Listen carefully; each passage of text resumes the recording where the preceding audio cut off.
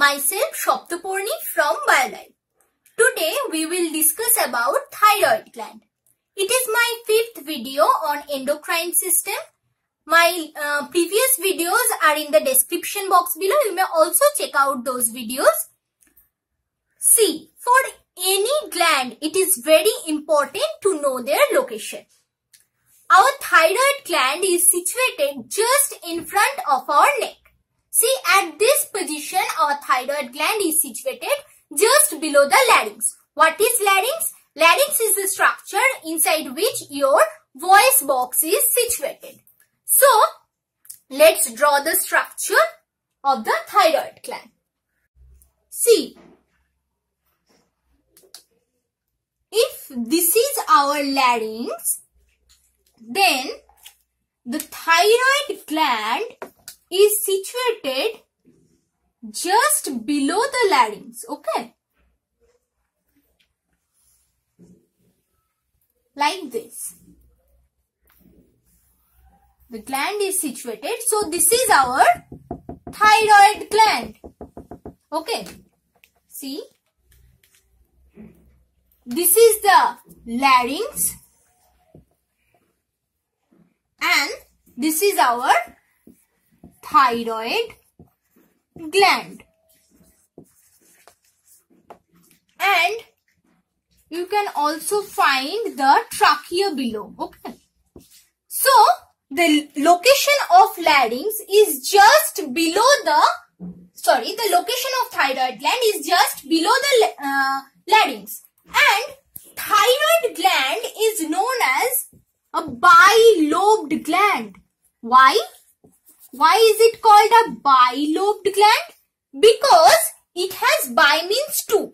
It has two lobes. See, this one is one lobe and this one is one lobe. And these two lobes are joined by a bridge-like structure. See here. This is a bridge-like structure which is known as isthmus. Okay. This this bridge-like structure joining the two lobes of the thyroid gland is known as isthmus. And sometimes you may also find an extension of the uh, thyroid gland just above the isthmus. So this portion, this upward portion, the extension of the thyroid gland just above the isthmus is known as pyramidal lobe. Okay, because it looks like a pyramid pyramidal lobe. So, these are the main um, structural characteristics of a thyroid gland and you, you can find that it looks like a butterfly. Now, this is the dorsal view, okay? Dorsal view and if you uh, see the ventral view of the thyroid gland, what will you see? You will see that, see, if it is the ventral view, this is the trachea, the, uh, the ventral view of the trachea and this is the ventral view of the thyroid gland. You can find four small glands just behind the thyroid gland. Okay. It is the dorsal view and it is the ventral view. You can find four small glands just behind the thyroid gland. This is the thyroid gland and these four small glands are known as parathyroid glands. Okay. These are the parathyroid glands. So, this is the structure. Now, coming to the hormones. What hormones are secreted by our thyroid gland and also by our parathyroid gland. In your syllabus, only thyroid hormones are there. See, our thyroid gland secrete main three hormones, okay? T3, T4 and calcitonin. T4 is also known as thyroxine. This is the main thyroid hormone T4. Okay. T4 is the main thyroid hormone and it is also known as thyroxine. And other two hormones are T3 and calcitonin. and the hormone secreted by parathyroid gland is parathormone. Parathormone. Now we will discuss the functions of T4 in details but uh, T3 also functions like T4 but the function of calcitonin is somehow different. It regulates the blood level of calcium. Okay. Whereas the parathormone also uh, regulates the calcium level in our blood but both hormone works in different way. So now coming to the main two hormones T3 and T4. Mainly the T4 of our thyroid gland.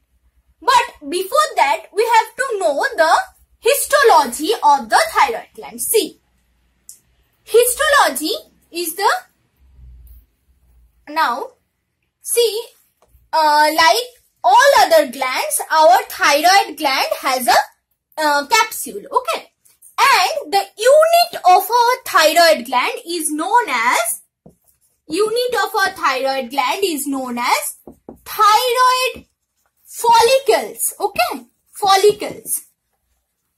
So if we draw the structure we can find that. Let's draw the structure first. See these round structures are the unit of the thyroid follicle. They are known as thyroid of the thyroid gland and they are known as thyroid follicles. You can see that these thyroid follicles are suspended, okay? These are suspended in the connective tissue material of the gland. These are the nucleus actually, the nucleus of the cells. Okay. Now, this is the capsule. Think this is the capsule of the thyroid gland and uh, this is the connective tissue material of the thyroid gland.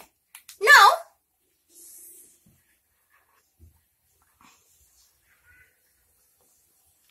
and let me draw some other structures also. Okay, now let's discuss. See, this is the capsule of our thyroid gland. Now, our thyroid gland consists of two main types of cells. Number one is chief follicular cells and number two is parafollicular cells. Okay. Now see, I have already told that it is the unit of our thyroid gland known as thyroid follicle. TF. Let's uh, write TF. So, you can see three thyroid follicles are here. The thyroid follicles are encircled by a, a cell layer. And what are these cells? These are the chief follicular cells. See, this is one chief follicular cell. This is one chief follicular cell. So the thyroid follicle is encircled by the chief follicular cells.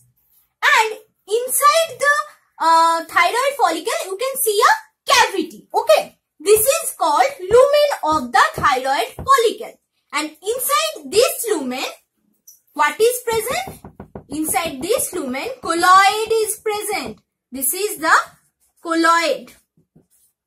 And these cells are the chief follicular cells.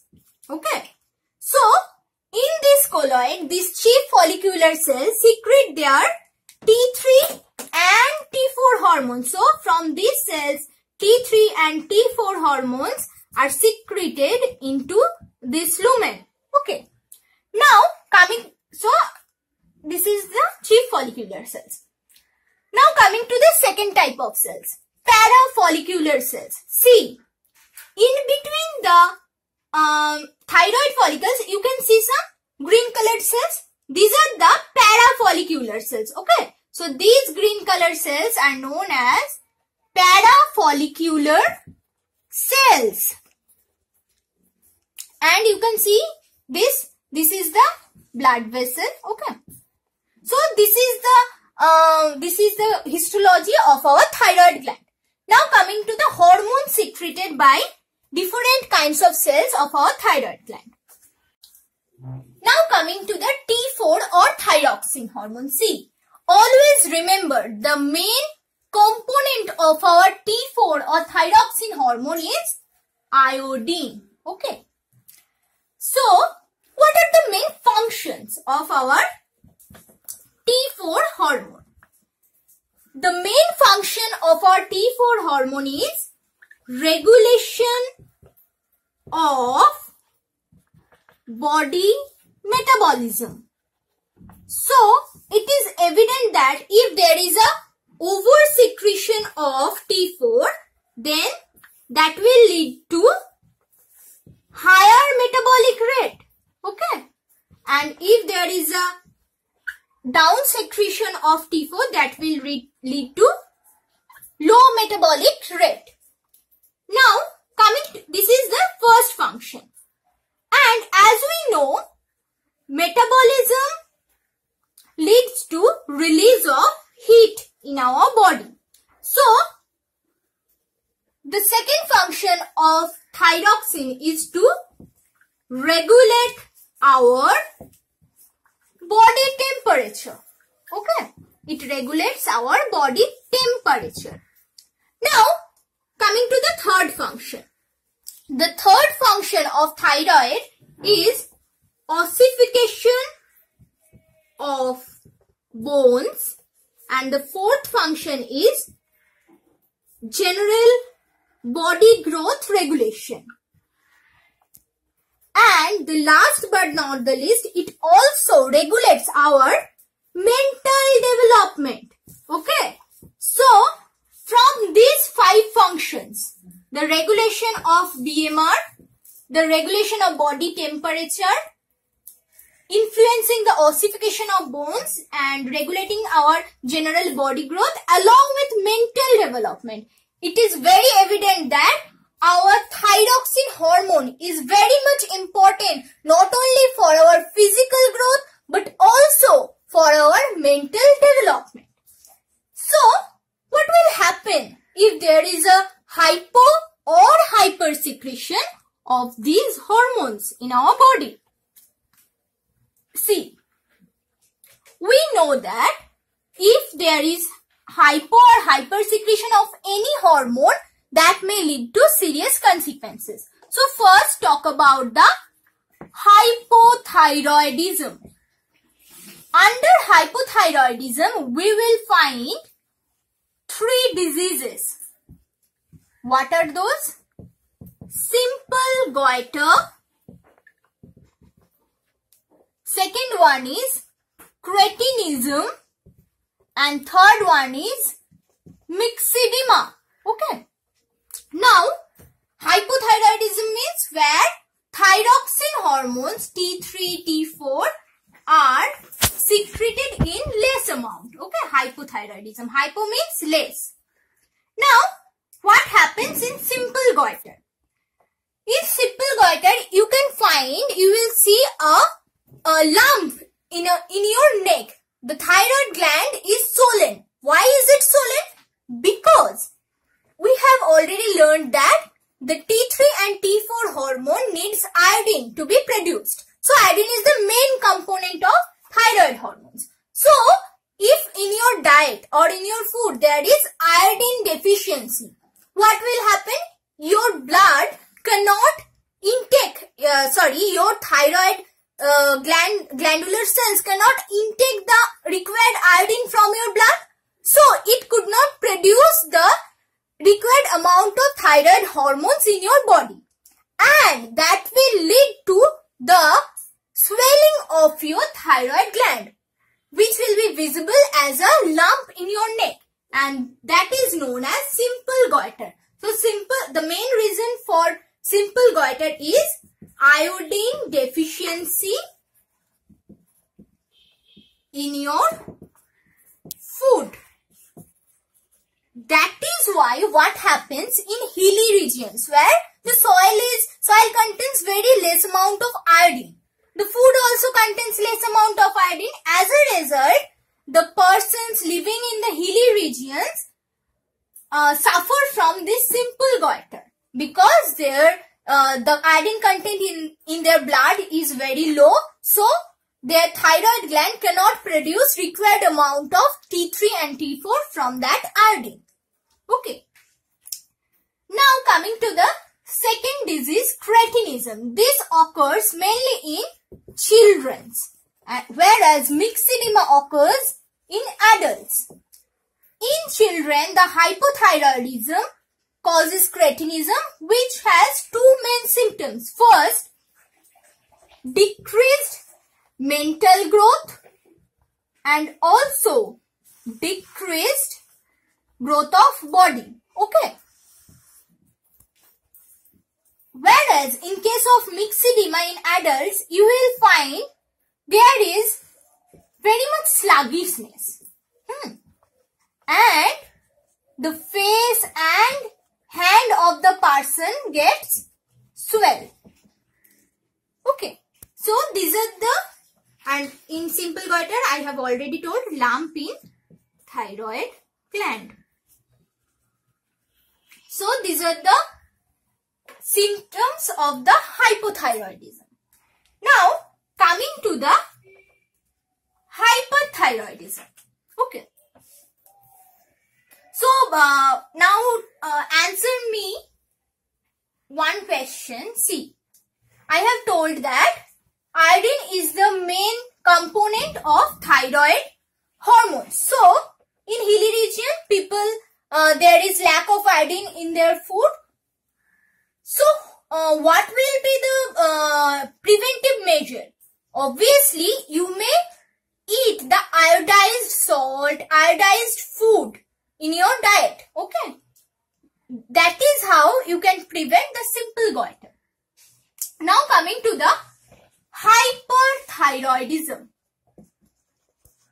Hyperthyroidism means where T3 and T4 are secretion of T3 and T4 is increased.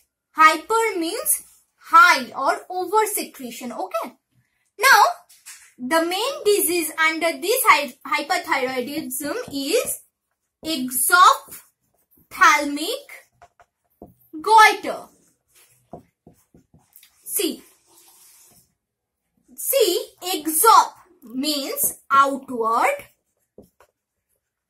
and ophthalmis, ophthalm means, exo means outward and ophthalmic means eye. So, and goiter, we have already told that goiter is the lump in our thyroid gland. So, in exophthalmic goiter, what happens? Due to oversecretion of T3 and T4 hormones, your thyroid gland gets swelled up.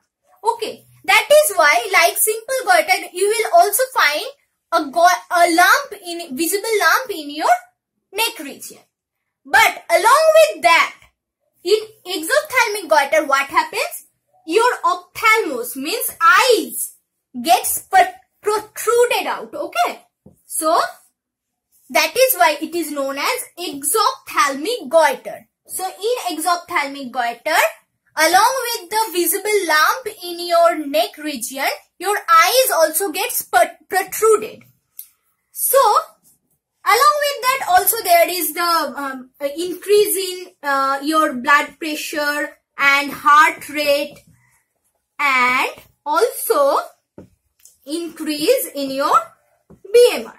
So these are the main um, symptoms of your exophthalmic goiter. Now with this our syllabus of thyroid gland is complete. So, okay. So, with this, we come to an end of our today's learning. If you find my content useful, so please like, share and subscribe to my channel. I post videos regularly on different topics of class 9 to 12 and also undergraduate level on different topics of biology. So if you like it, please like, share and subscribe. Thank you for watching and happy learning.